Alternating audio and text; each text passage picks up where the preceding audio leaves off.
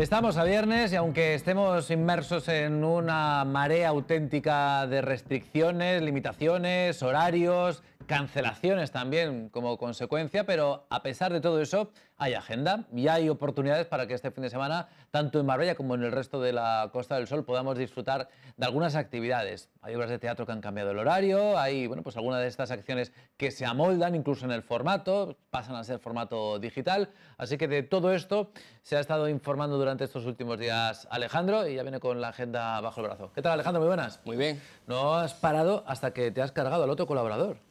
Efectivamente. ya, no queda Camilo, el pobre, no puede venir, no diremos los motivos. Tú te has encargado de liquidarlo. No he dejado ni prueba. Madre mía, sí que tengo que tratarle bien, porque lo siguiente es que esté Alejandro la semana que viene presentando. No te conozco, ¿eh? Sí, sí, yo, después de todo, no me quiso decir Camilo lo que había, lo que había pasado. Por cierto, Camilo, gracias ¿eh? por haber estado con nosotros. Siento que te hayas tenido que enfrentar a este rubio pelirrojo. el foco, el foco rosa. Es el foco. No, no, es que hay un dilema. En, en, Instagram ahora mismo tenemos puesto una encuesta si eres rubio o pelirrojo. Así que la gente que vote.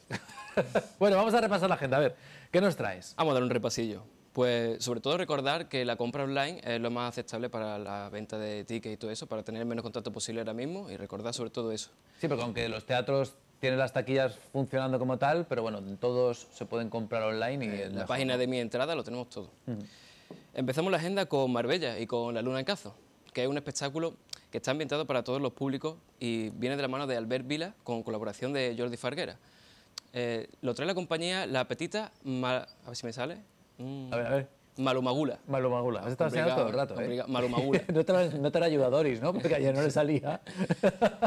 Esta compañía eh, también se trata, ha tratado mucho también temas con infantes y temas para bebés, ha producido muchos espectáculos para los más pequeños y ahora nos trae uno para todos los públicos aquí en Marbella. Bueno, pues creo que son dos pases, ¿no? Son dos... Son dos pases, lo tenemos a las 12 y a las 5 y sería en el Teatro Ciudad de Marbella. El Teatro Ciudad de Marbella, ya sabéis, el domingo, obra que, bueno, pues decir que es infantil, pero al final la disfruta toda la familia, ¿no? Porque los niños, lógicamente, no van solos. Por lo cual también estos espectáculos siempre son un poquito más entretenidos para los, para los mayores. La luna en un cazo. En un cazo. Bueno, por fin parece que Manu Sánchez le tendremos en Marbella porque creo que este espectáculo estaba previsto para el mes de mayo, en pleno confinamiento, lo han tenido que pasar y por los pelos no tienen que suspenderlo también. Por fin llega el gran Manu Sánchez. Gran, bueno, no solo porque mide dos metros el tío, que es bastante ¿Mide dos metros? Dos metros mide el tío.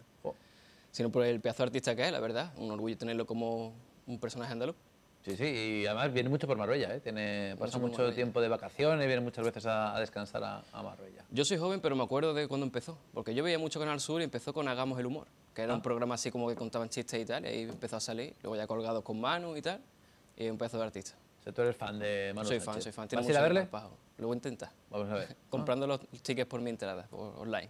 No, tú intentarás colarte, que... ¿no? Seguro. Lo intentaremos. ¿Ves? Ya lo sé yo.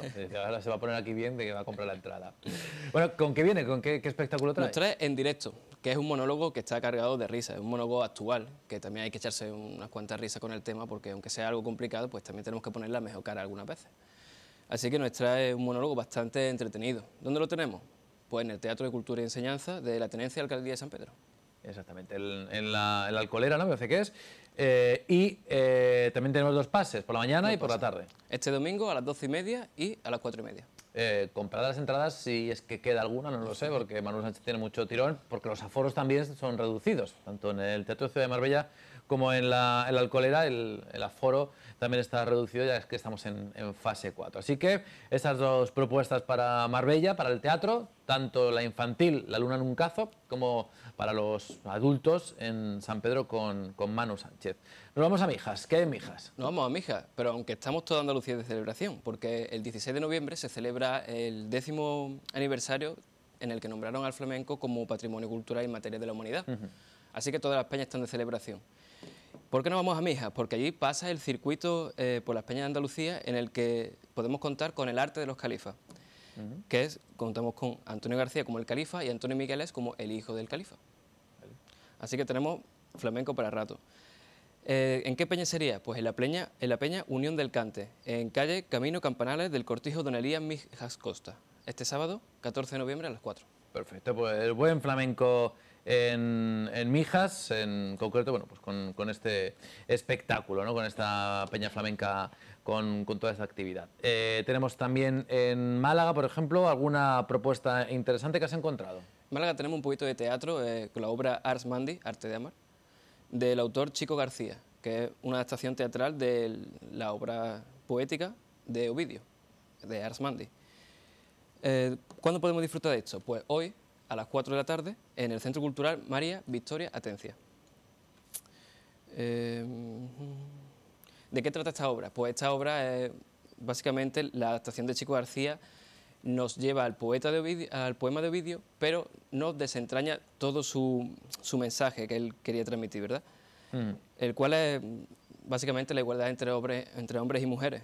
Se puede considerar este poema como el primer tratado de igualdad de género de la historia, ya que fue escrito hace más de 2000 años. Curioso. Bueno, pues Ars Amandi, en este caso en el Centro Cultural María Victoria Atencia, a las 4 de la tarde en Málaga, pero creo que también se puede seguir online. También se puede ver en streaming. Ah, bueno, pues aquel que no, que no vaya a verlo, bueno, pues a través de, de streaming puede, puede seguirlo.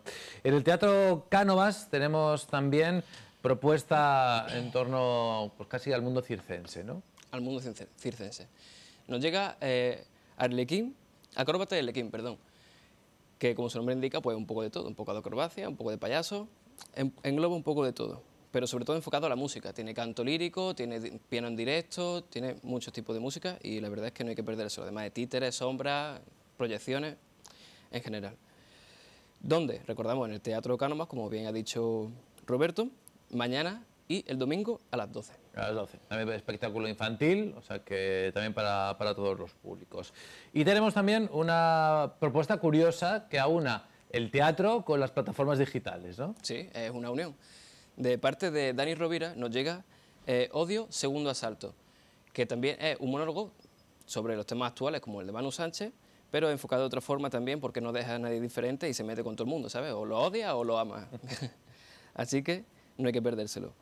Recordad también que Dani Rovira acaba de salir de un problema que ha tenido un cáncer hace poco, un linfoma de Hodgkin creo que era su tipo, y se ve que se está recuperando y está volviendo al escenario y lo hace en el mejor, el mejor sitio del mundo, Málaga.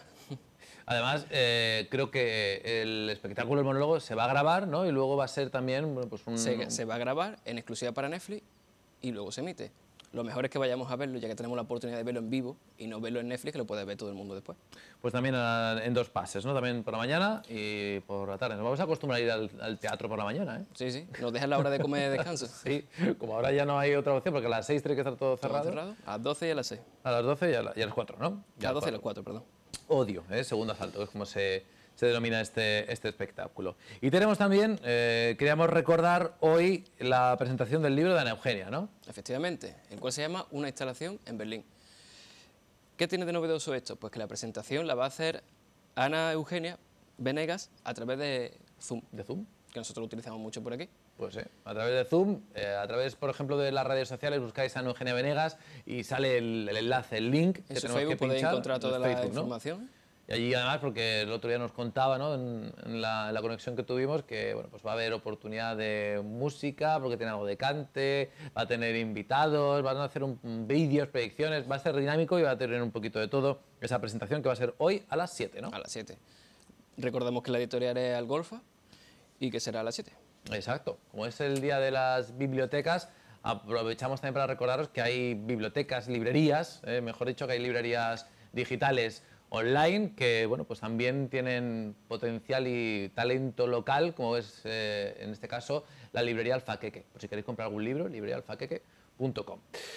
Pues listos. Eso es lo un que poquito de todo, un poquito de teatro, que es principalmente lo que ahora está funcionando a medio gas y están siendo auténticos campeones, tanto las compañías, los que lo programan y por supuesto quienes se ponen sobre las tablas. Así que, que por lo menos, con el aforo limitado, pero las butacas estén ocupadas, que así por lo menos el actor se va a sentir un poquito más resguardado. Gracias, Alejandro. Muchas de nada. Que tengas buen fin de semana. Igualmente. Pórtate bien, ¿eh? Ya veremos. Pórtate- No, no, pórtate bien. Y al fin de. Sí, pero el fin de está muy mermado. Tú a las 6 ya no puedes estar en los bares, tienes que ir. Bueno. Ya a casa. Pero puedo estar en otro sitio hasta las 10. ¿Qué sitios? Bueno, ya me descubrirás tú dónde, No dónde vas. ¿Dónde va la gente después de las 6? Yo, claro, ya estoy mayor y yo pienso, ¿dónde pasa el paso marítimo? No, pero él seguro que tiene alguna idea. A ver si me lo, me lo cuenta. ¿Eres futbolero? Sí, un poco sí. ¿Cómo quedó ayer la selección sub-21? Tanto no soy. Ah, tanto no. Bueno, pues ayer estuvo jugando la selección sub-21 contra, Islas, contra Islas Feroe y ganó. ¿eh? Le dimos suerte en, en Marbella, les tenemos durante estos días y, bueno, pues si queréis vemos algunas imágenes de cómo eran los previos.